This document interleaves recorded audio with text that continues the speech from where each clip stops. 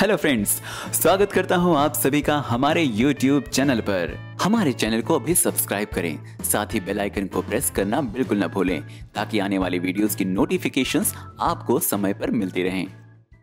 दोस्तों, हम अपने इस चैनल में आपको दिखाते हैं रहस्यमयी, हैरान कर देने वाले रोमांचक खबरें, जो आपको ये सोचने पर मजबूर कर देती हैं कि ऐसा आखिर कैसे संभव हो सकता है। दोस्तों, आपने कभी ऐसे मंदिर के बारे में सुना या देखा है, जिसका निर्माण किसी इंसान या भगवान ने नहीं, बल्कि किसी भूत ने किया हो? चलिए, आपको बताते हैं एक ऐसे ही मंदिर के बारे में, जिसका निर्माण भूतों ने एक रात में ही किया था। भारत में अंधविश्वास कितना ज़्यादा लोगों की सोच में शामिल हो चुका है। इसकी मिसाल है उत्तर प्रदेश के मेरठ का एक गाँव, जहाँ लोग भूतों को गाँव की रखवाली करने वाला मानते हैं। दतियाना गाँव के लोगों का मानना है कि यहाँ एक प्राचीन मंदिर, जो भूतों वाला मंदिर के नाम से जाना जाता है। भूतों ने रात भर में मंदिर बना डाला था।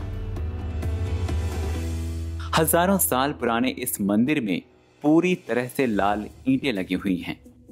इसमें सीमेंट का प्रयोग भी नहीं हुआ है। जब शिखर बनाने का समय आया, तब सूर्योदय हो गया और भूतों को निर्माण बीच में छोड़कर भागना पड़ा और इसे बाद में पूरा किया गया। 1980 में शिखर में दरारें पड़ गई और इसे दोबारा नए सिरे से उसी तरह बनाया गया जैसे बाकी पूरा मंदिर बना है।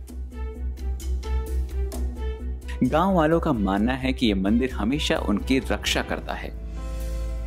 बाढ़, सूखे, ओले, सभी से ये गाँव को बचाता है। गाँव के एक किसान ने बताया कि जब खराब फ़सल के कारण बाकी देश में किसान आत्महत्या करने को मजबूर हो जाते हैं, तब भी दतियाना के किसानों को कोई समस्या नहीं आती। तो दोस्तों, ये था हमारा आज का वीडियो। ये वीडियो आपको कैसा लगा, आप कमेंट सेक्शन में जाकर हमें बता सकते हैं।